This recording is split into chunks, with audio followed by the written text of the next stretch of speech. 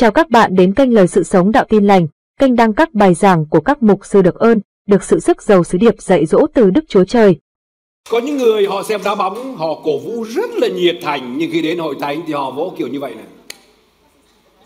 Nào, hãy vỗ tay to hơn cả đá bóng nữa cơ. Amen. Amen, cảm ơn Chúa. Mời anh chị em ngồi. Dạ.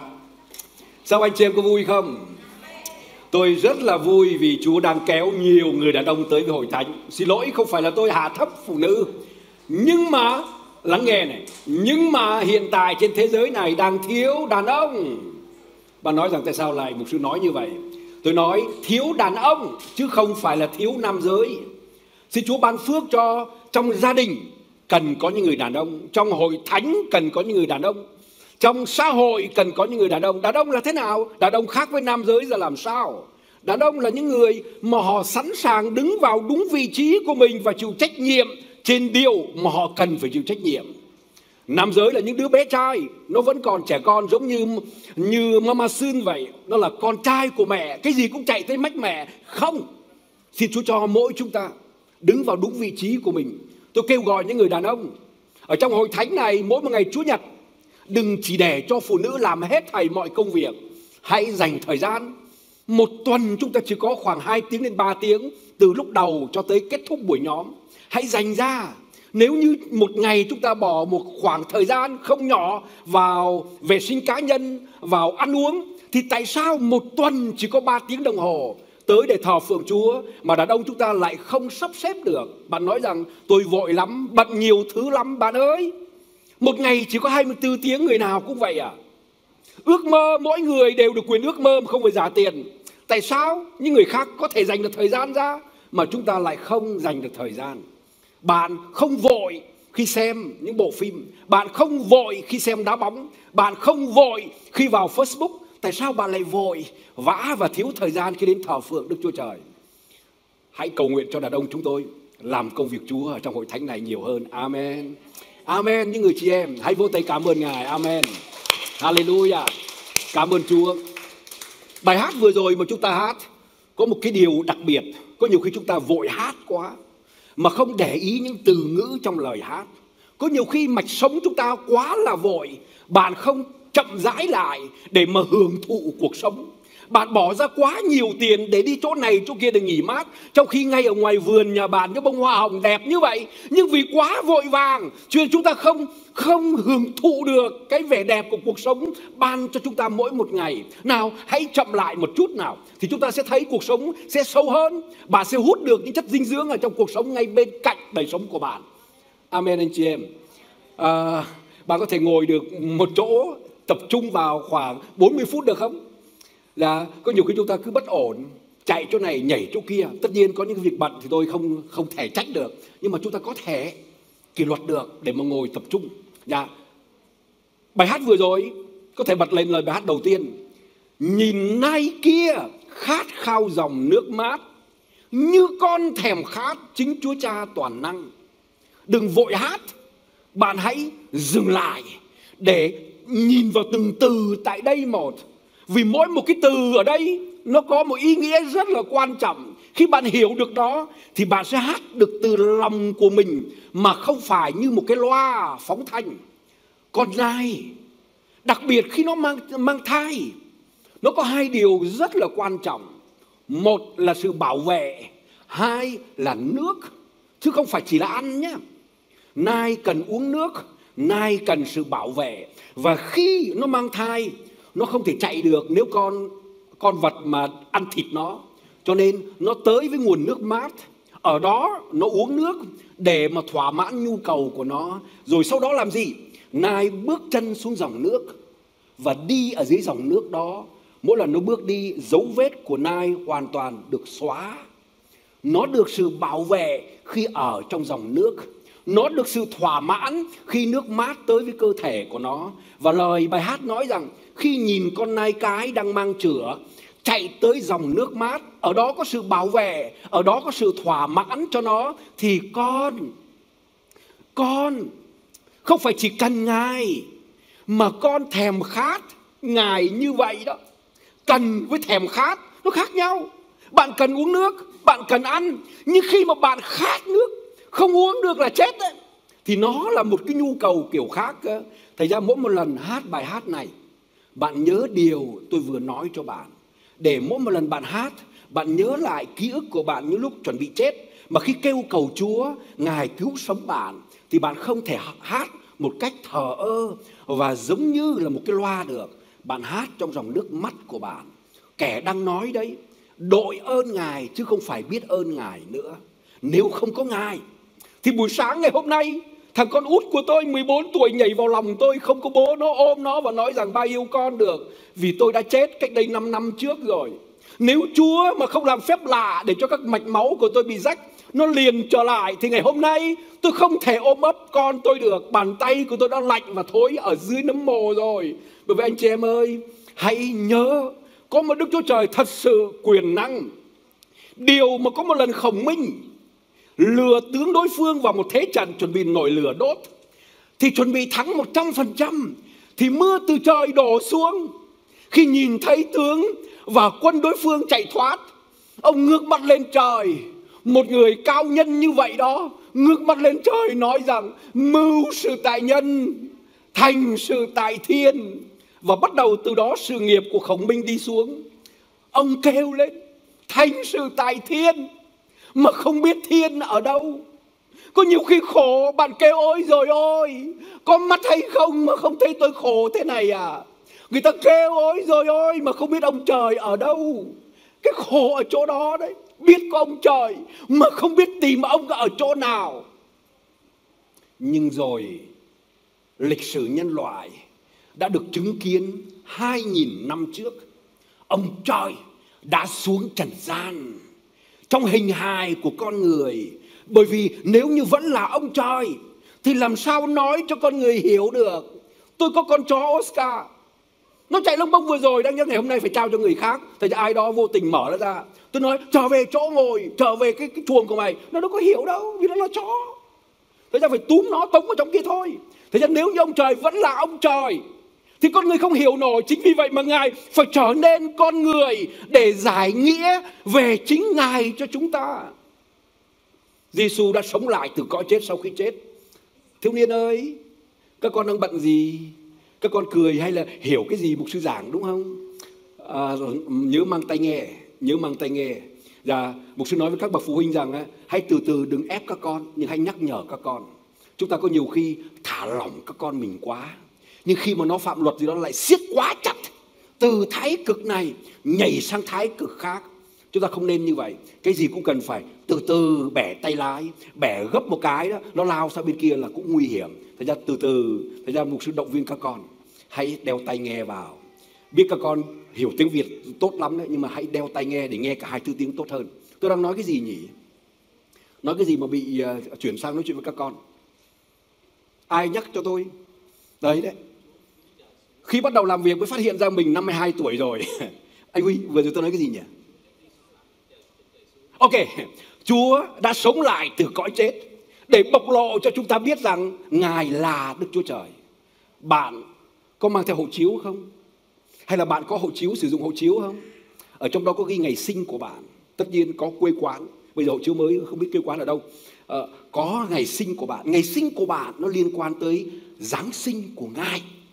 Tôi sinh năm 1970 Có nghĩa là 1970 năm trước khi tôi xuống trần gian này. 1970 năm trước đó, Có một đấng đã Giáng sinh. Dù bạn tin Chúa hay không tin Chúa, Bạn là Phật giáo hay là Hồi giáo, Bạn là vô thần hay là người tin Chúa, Thì hộ chiếu của bạn Đã nói cho bạn biết một sự liên hệ tới Một đấng từ trời. Ngài đó là Chúa Giêsu Christ. Amen. Dạ. Ngày hôm nay tôi muốn chia sẻ với anh chị em một đề tài. Đề tài này liên quan trực tiếp tới cuộc sống của mỗi chúng ta. Tôi biết có ai đang ngồi tại đây, tôi biết có ai đó nhìn tôi, gặp tôi, bắt tay tôi, ôm tôi và nở nụ cười rất là tươi. Nhưng nụ cười của bạn đang che bên trong của bạn một nỗi đau, đang che bên trong của bạn một nhu cầu, một nan đề mà không ai giúp được bạn. Thì ngày hôm nay tôi muốn chia sẻ với bạn biết một điều từ kinh nghiệm bản thân của tôi dựa trên lời Chúa. Chúa Giêsu của tôi và là của bạn nữa, là một đấng có và là đấng sống. Câu thánh kinh đầu tiên tôi muốn đưa cho bạn cùng đọc. Phaolô đã nói về mối quan hệ của ông với Chúa và đạo tin lành, đạo tin lành đạo ở đây không phải là một tôn giáo tin lành đạo, đây là lời vì kinh thánh dịch ra, họ sử dụng cái từ hán việt lẫn lộn chuyên từ đạo ở đây, hãy hiểu cho kỹ, không phải là một tôn giáo tin lành bởi vì có nhiều người theo tôn giáo tin lành nhưng chúng ta không phải đi theo tôn giáo tin lành. Chúng ta tin Chúa Giêsu đứa con sau khi nó ghi ở trong lý lịch ở trường phổ thông ghi tất cả mọi sự còn riêng mục tôn giáo nào thì nó không ghi. Cô giáo hỏi thế ờ, em không hiểu gì? Uh, bố mẹ em theo đạo gì? Đạo phật thì ghi theo đạo phật. Đạo tin lành thì ghi theo đạo tin lành.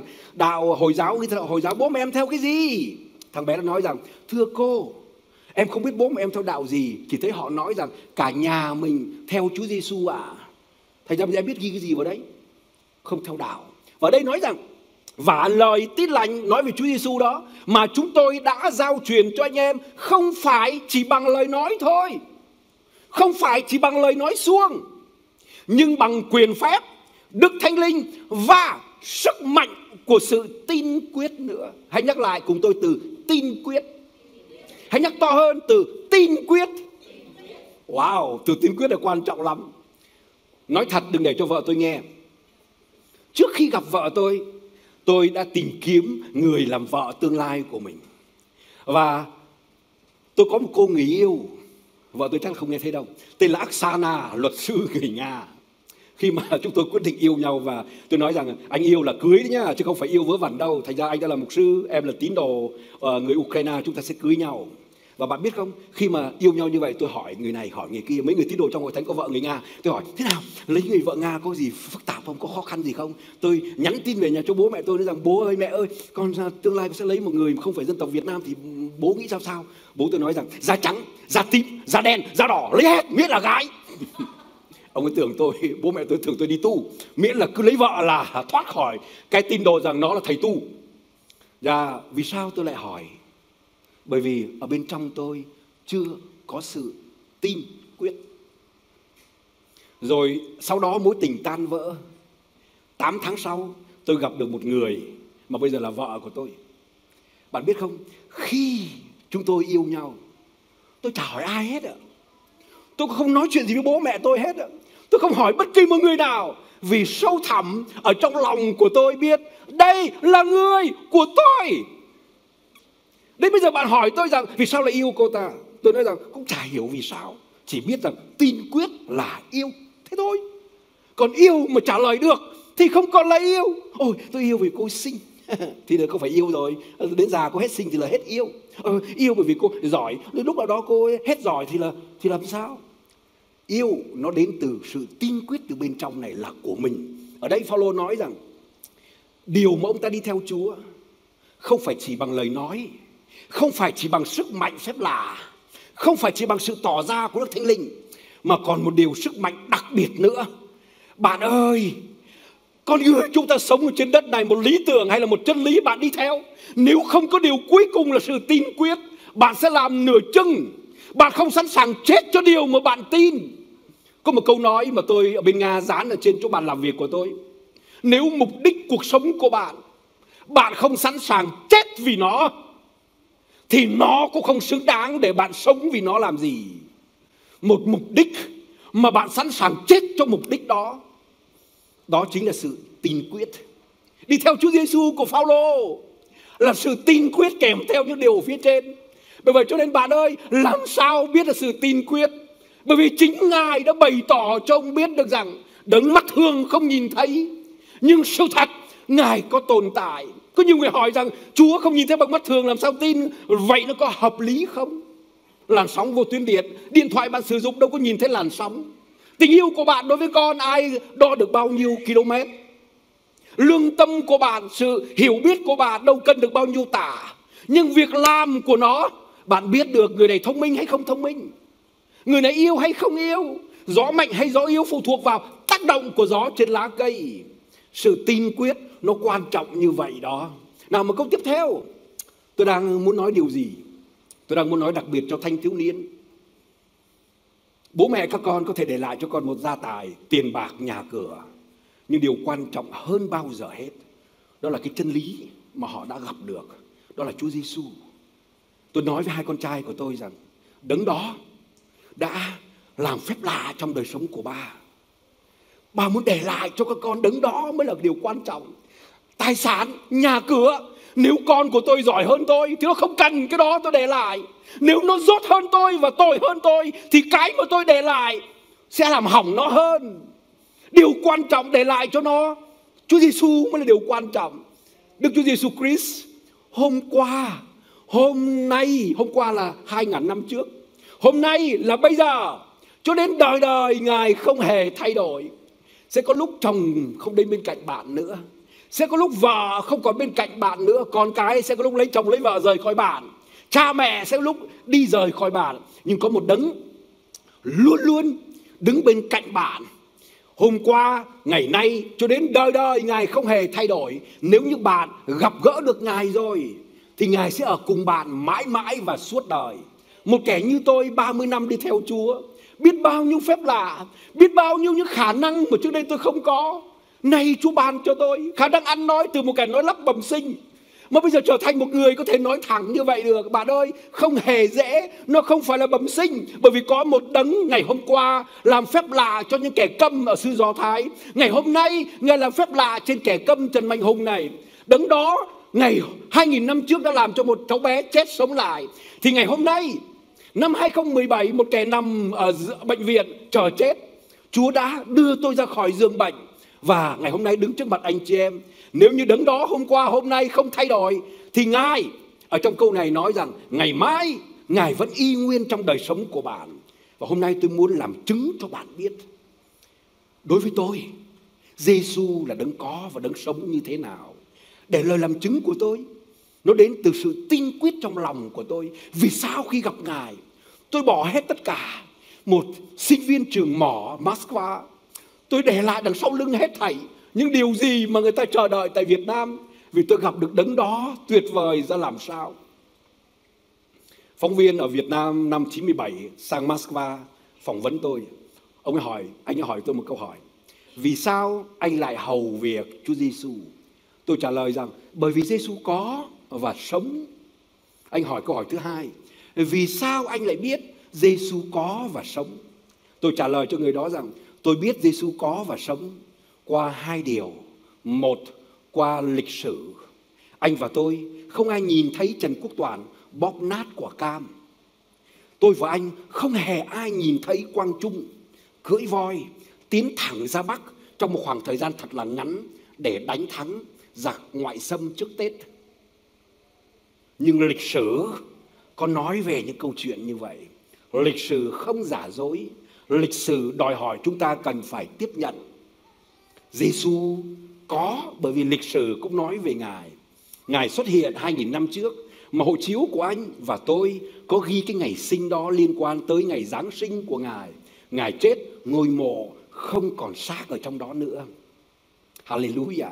Nhưng tôi còn tin điều thứ hai là Giêsu sống không phải chỉ có nếu ngài chỉ có thôi, thì ngài là một nhân vật lịch sử một bài học lịch sử để chúng ta noi gương. Nhưng Chúa Giêsu của tôi là đấng sống nữa anh ạ. À. sống qua điều gì? Qua kinh nghiệm thực tế của tôi với ngài. Tôi kể cho anh ta nghe và ngày hôm nay hãy lắng nghe câu chuyện của tôi để biết được tại sao cho đến chết tôi không bỏ ngài. Đói đến mấy, tôi không dám làm sai cái điều gì mà lương tâm của tôi trước mặt Chúa có vợ tôi, có các con tôi hiểu được điều tôi đang nói tại đây. Bởi vì có một sự tin quyết. Nếu bạn chưa tin quyết, ngài là đấng sống. Bên cạnh đời sống của bạn thì ngày hôm nay, hãy nghe câu chuyện của tôi không một chút giả dối. Tôi sang Nga du học năm 88 điểm cao, nhà nước cử sang nước ngoài học để trở thành một kỹ sư mỏ. Năm 90 tôi gặp mẹ nuôi Ukraine. Thành phố bây giờ đang bị bom đạn của Nga câu phá. Bà nói cho tôi về Chúa Giêsu. Bà nhận tôi làm con nuôi của bà. Bà rất là tốt. Thế cho tôi muốn làm một điều gì đó tốt với mẹ của tôi. Mua những đồ vật, mua những tặng phẩm. Bà tiếp nhận, cười nhưng mà tôi nhìn thấy và hiểu được rằng bà không vui như điều cần phải có. Cuối cùng tôi suy nghĩ, làm sao để cho mẹ mình vui nhỉ? Tôi nhớ ra một điều, tin Chúa Giêsu vì mẹ thôi. Chứ còn ông Giêsu này tôn giáo vớ vẩn tôn giáo là liều thuốc viện của nhân dân. Chứ còn những người mà giỏi như mình, những người trẻ như mình, những người có tiềm năng như mình, những người mà bố mình dạy rằng đừng tin vào ai, hãy tin vào năng lực của bản thân, thì tôi gì phải đi theo tôn giáo nào? Thành ra, chỉ vì mẹ của tôi tôi đã có một chương trình là ngày phục sinh tháng 4 năm 92 lúc đó tôi 21 tuổi rưỡi, sẽ lên trước hội thánh của bà và giả vờ tin Chúa Giêsu cho mẹ của mình vui. Ngày đó tôi lên trước hội thánh. Không phải giống như các thanh niên đây nghiêm túc đâu. Tôi ờ, dạ vâng giả vờ chỉ để cho mẹ mình vui thôi. Và 10 ngày về phép với mẹ, sau đó trở lại Moscow học, sẽ sống lại như gì mình muốn. Tôi lên trên đó cũng nói tất cả những gì mà họ hướng dẫn tôi. Nhưng mà thực sự trong lòng tôi, vừa nói vừa nhìn xem phía dưới mẹ mình ở đâu. Thấy sướng chưa? Tin chúa rồi đấy nhá yeah và tôi nhớ lại, nhiều người đàn bà ở dưới đó khóc. Thấy tôi bước lên, tin chúa giêsu họ khóc âm lên. Tôi ôm miệng cười vào, nếu chúa có thật nha, biết tôi nói dối mà sao họ bị lừa nhỉ? Chắc chắn là không có chúa rồi. Chúa nào mà để tôi nói dối mà không trừng phạt. Tôi đứng ở đó, tuyên xưng xong. Về với mẹ, sống tại nơi đó ngày thứ ba. Lắng nghe này.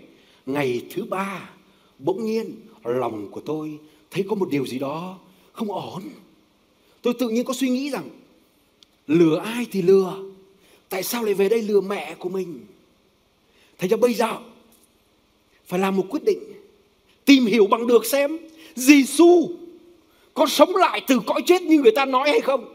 Nếu như ông ấy sống lại thật từ cõi chết thì phải đi theo ông ấy. Kiếm đâu ra được một người mà sống từ cõi chết mà sống đến bây giờ. Điều thứ hai, trong khi tìm kiếm mà biết rằng chả có chuyện này thì như vậy đây là một cái đạo lừa đảo lớn nhất trên thế giới Người đầu tiên mình cần phải cứu là mẹ mình ra khỏi cái đạo lừa đảo đây. Hay không? Một cái lý luận rất là đặc biệt của Trần Mạnh Hùng tuổi 21 tuổi rưỡi. Tôi quỳ gối trong cái phòng mà mẹ tôi cho tôi ở tại nơi đó, mẹ nuôi mà. Tại Krivorok, cầu nguyện. Hồi đó tôi chưa biết cầu nguyện một tiếng Việt. Tôi cầu nguyện như sau. Giêsu, tôi biết ông không có thật. Ông chỉ như chuyện cổ tích hay hoang đường người ta dựng ông lên thôi. Nhưng nếu ông sống lại từ cõi chết thì ông đang ở trong căn phòng này Tôi không thấy ông như ông thấy tôi. Hãy trả lời tôi ba câu hỏi. Tôi hứa với ông rằng khi tôi nhận được ba câu trả lời này, tôi dâng đời sống của tôi cho ông và giao truyền danh của ông cho tới ngày chết. Kinh không? Chả biết mình cầu nguyện cái lời cầu nguyện nguy hiểm như vậy đó. Và sau khi cầu nguyện xong, tôi suy nghĩ câu thứ nhất là câu gì nhỉ? Tôi sống một cuộc sống rất là xấu xa trước đó. Sau khi mẹ tôi thấy tôi lên tin Chúa Giêsu rồi, bà nói rằng, Hùng, à chăn, Bây giờ tin Chúa rồi con à. Con muốn hạnh phúc trong gia đình nhé. Con phải lấy cái người nào cùng đức tin như con. Và lúc đó tôi bắt đầu sợ. Bạn, bạn biết tôi sợ cái gì không? Tôi sợ là cô đơn cả đời. Bởi vì đâu có người nào giống giống như ở đây đâu. Việt Nam đâu có đâu. Thế câu hỏi thứ nhất của tôi. Giêsu. Tôi biết ở Việt Nam có những người theo đạo công giáo. Nhưng mà những người tin Chúa như ở đây này cũng lấy vợ lấy chồng vì tôi không thể mà không lấy vợ được. Tôi không thể làm linh mục được. Thành ra tôi phải có một người bình thường như ở đây có ở Việt Nam không? Nếu có cho tôi xin địa chỉ. Chỉ cầu nguyện một mình trong phòng không ai nghe thấy. Lắng nghe không ai nghe thấy. Chỉ có tôi với đấng đó thôi. Hai tuần sau mẹ tôi nói rằng Chan có một cặp vợ chồng người Mỹ đến trung tâm uh, sân vận động của thành phố này giảng mẹ con mình cùng nhau tới đó đầu tháng 5 tôi nhớ cùng mẹ tôi dưới cái ô trời mưa. Tới cái sân vận động đó, người ta bỏ chạy về vì trời mưa. Tôi bảo mẹ ơi, về đi, sao khổ thế? Nghe cái gì hát thì không thấy hát, mà mưa như vậy mà tôi nói, con cố gắng ở lại, có thể con nhận được điều gì đó. Mưa tạnh, người ta bỏ về gần hết rồi. Có nhiều người còn lại ở phía trên. Ông mục sư, người mỹ cùng với vợ, bước lên trên cái sân khấu. Ông nói một câu nói rằng, cảm ơn chúa vì hôm nay trời mưa những người nào ở lại trên sân vận động này sẽ nhận được điều mà bạn cầu xin. Tôi nghe xong nói rằng, đúng là hội truyền đạo, lưỡi không xương. Nói kiểu gì cũng được, trời mưa thì tạ ơn chúa, trời mưa, nắng thì tạ ơn chúa, trời nắng. Ông nói câu sau mới là câu hay. Ông nói rằng, tôi và vợ tôi một tháng trước ở việt nam, và những người tin chúa tại việt nam biết chúng tôi sẽ tới ừ, thành phố này. Họ gửi lời chào tới anh chị em tại ukraine và đứng dậy cầu nguyện cho họ. Tôi nghe thấy từ việt nam bắt đầu một điều gì đó thay đổi trong lòng của tôi. Wow, tại sao lại thế nhỉ? Tại sao lại có chuyện lạ lùng như vậy nhỉ? Kết thúc bài giảng, tôi lại gần ông đó và nói chuyện qua phiên dịch. Ông nói rằng, cậu Việt Nam à? Mà vâng tôi là người Việt Nam đấy. Việt Nam là có ở đây à? Vâng tôi là người Việt Nam đây ông rút ở trong ví của ông ra một cái các visit, một cái một cái cạc địa chỉ của một hội thánh tại Sài Gòn. Đây, hãy liên hệ với những người tin Chúa tại Việt Nam. Tôi nhận cái các visit đó về đến nhà với mẹ nuôi, tôi bảo, wow, đây thật hay là giả? Đây là chuyện cổ tích, hay là có thật nhỉ? Giêsu có thật không nhỉ? Tại sao lại có câu trả lời này nhỉ? Mình cũng xin và có xin địa chỉ nữa, bây giờ có trong tay này. Tôi lao về, giờ quyển thánh kinh tiếng nga. Thánh kinh tiếng nga. Tôi nghĩ rằng đó là một quyển sách muốn hiểu ở giữa, phải đọc từ đầu. Tôi dở, cứu ước ra đọc không hiểu. Hỏi mẹ tôi mẹ tôi nói rằng hãy đọc tân ước đầu tiên. Tôi dò tân ước ra đọc thấy ông này đẻ ra ông kia nhưng 42 ông đẻ ra nhau. Tôi bảo mẹ ơi cái quyền này con không thể hiểu nổi nó không phải là quyền của con người. Tại sao toàn đàn ông đẻ ra đàn ông? Mẹ tôi bảo thôi thôi, thôi con ơi những câu hỏi của con ấy chả ai trả lời được. Thôi mày xin chúa quyền thánh kinh tân ước bằng tiếng việt đi. Câu hỏi thứ hai của tôi tôi vào trong căn phòng của tôi quỳ gối. Giêsu nếu như ông sống lại từ cõi chết. Câu hỏi thứ hai của tôi hãy cho tôi một quyển kinh thánh tân ước bằng tiếng việt một tháng rưỡi sau, được thông tin từ Moscow có chuẩn bị cho đại hội Billy Graham sang giảng tại Moscow. Tôi dẫn đoàn từ Ukraine lên Moscow. Tôi gặp cái người mà chịu trách nhiệm trên đại hội đó nói, mục sư Victor Gam hay cho tôi một quyển thánh kinh tân ước bằng tiếng Việt. Ông nói rằng chúng tôi không có tiếng Việt, chỉ có tiếng Nga và tiếng Anh thôi. Tôi bắt đầu hiểu ra rằng, ồ, có thể, cái gì mình đang đi theo đây, đang thử đây là chuyện vớ vẩn lần trước là tình cờ trùng hợp và chẳng may nó, nó trùng hợp thôi. Tôi về khách sạn mà người ta cho tôi cái phòng đó quỳ gối để chia tay cái cuộc thử này.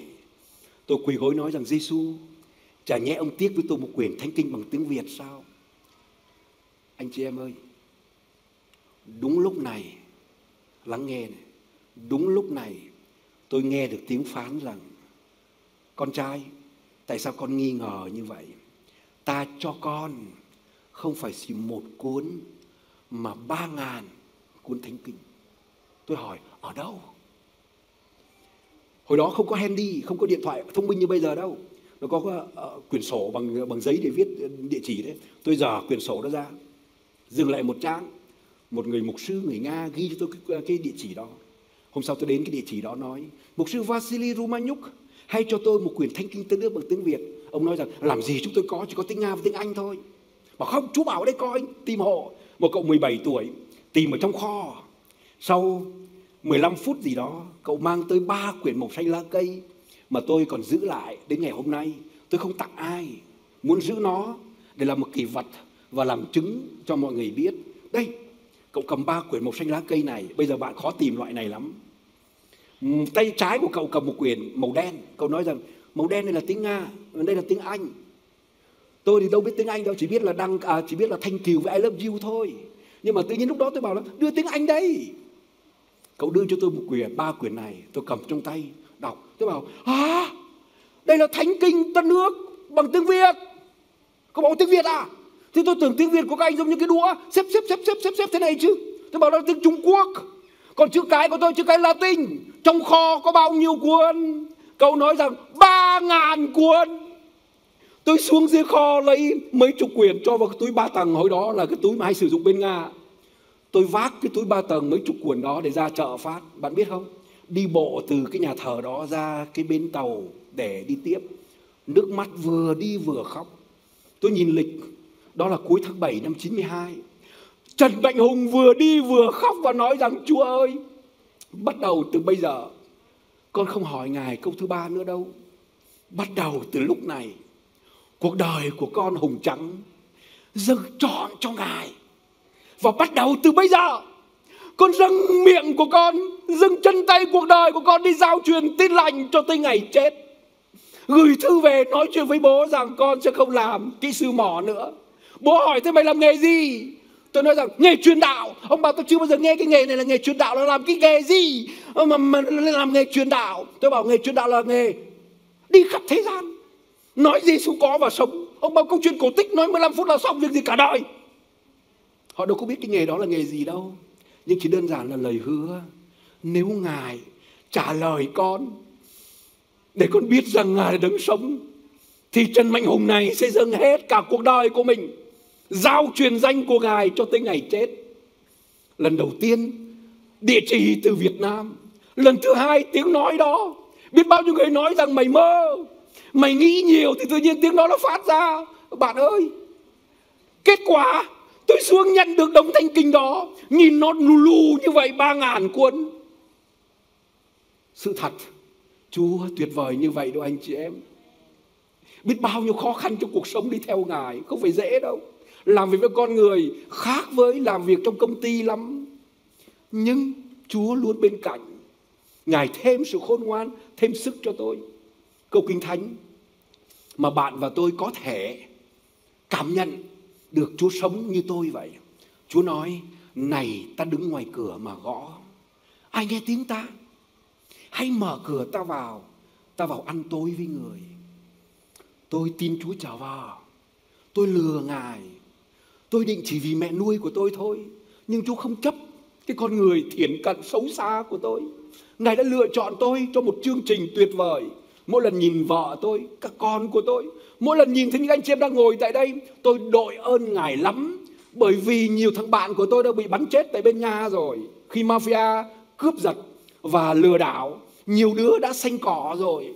Còn nhiều đứa thì gia đình ly dị còn nhiều đứa đang nằm trong bệnh viện chờ chết bạn ơi tôi không tôi không không loại bỏ có những đứa thành công có những đứa trở thành triệu phú hay tỷ phú, có những đứa trở thành là thứ trưởng hay bộ trưởng tại Việt Nam nhưng quan trọng ở chỗ cuộc đời của tôi ngày hôm nay đã sang một trang mới bởi vì có một đấng có của lịch sử, đấng sống trong kinh nghiệm của tôi hallelujah khi ra khỏi giường bệnh, tôi thoát khỏi sự chết tôi nói với hai đứa con trai của tôi, các con có yêu ba không? Chúng nó bảo, yêu ba. Các con biết tại sao ba còn sống không? Chúng nó nói, biết. Bởi vì Chúa Giêsu đã chữa lành cho ba. Tôi nói với hai con của tôi rằng, như vậy các con phải yêu Chúa nhiều hơn yêu ba nhớ. Vì sẽ có một ngày ba không còn bên cạnh các con. Nhưng đấng đã luôn bên cạnh ba, sẽ luôn bên cạnh các con. Và ngày hôm nay, câu kinh thánh cuối cùng này, để bạn có thể kiểm nghiệm được điều mà tôi đã kiểm nghiệm, không phải chỉ lời nói suông, mà còn cả sự tin quyết trong lòng của bạn câu chuyện của tôi đã kể, còn phần của bạn bạn phải thử mọi người hiểu không bạn cần phải thử có một người chị em pha cho tôi cái ly chai nước chanh này để vừa giảng vừa uống dạ tôi đang khát hmm. rất là ngon anh huy ơi rất là ngon Chị Thủy ơi, rất là ngon. Tôi đã cho mọi người biết rất là ngon rồi. Tôi đã uống cho mọi người nhìn thấy không phải là thuốc độc. Anh Huy, đừng suy xét nữa. Hãy thử mà xem. Anh thử uống đi. Ngon không? Đúng là nước chanh không? Ngon cực. Ngon cực. Bà thấy dễ không? Ngồi suy xét làm gì cho tới khi chai nước chanh bốc hơi khô. Mà bạn vẫn khát. Người khác đã hết khát họ làm chứng cho bạn thì việc của bạn ngày hôm nay hãy vào một thứ 5 giây nó không mất nhiều thời gian của bạn. Đừng để cho cuộc sống ô tạp và vội vàng này khiến cho bạn cứ vội vàng chạy như ai đuổi đằng sau vậy. Không có thưởng thức gì hết. Bữa cơm rất là đắt tiền mà miệng không thấy ngon. Nhà quá là đắt tiền và cái giường thật là mắc. Mà ngủ đâu thấy ngon đâu. Cô vợ đẹp hơn nhiều so với những người hàng xóm. Mà hạnh phúc thì chả thấy đâu. Câu trả lời, bởi vì chúng ta quá là vội vàng. Cho nên phạm nhiều luật vội vàng là hay phạm luật lắm anh chị em đừng vội, chớ vội, chớ vàng mà vấp phải đá, mà quàng phải dây thùng thẳng như chúng anh đây, chẳng đá nào vấp, chẳng dây nào quàng mời đứng dậy cầu nguyện nào quý thính giả xem nhớ đăng ký kênh, nhấn rung chuông và chia sẻ video được lan rộng trên mạng cộng đồng. Xin Thánh Linh động chạm anh chị em được biến đổi mỗi ngày càng giống Chúa hơn. Hẹn anh chị em video tiếp theo. Chúa yêu hết thảy anh chị em.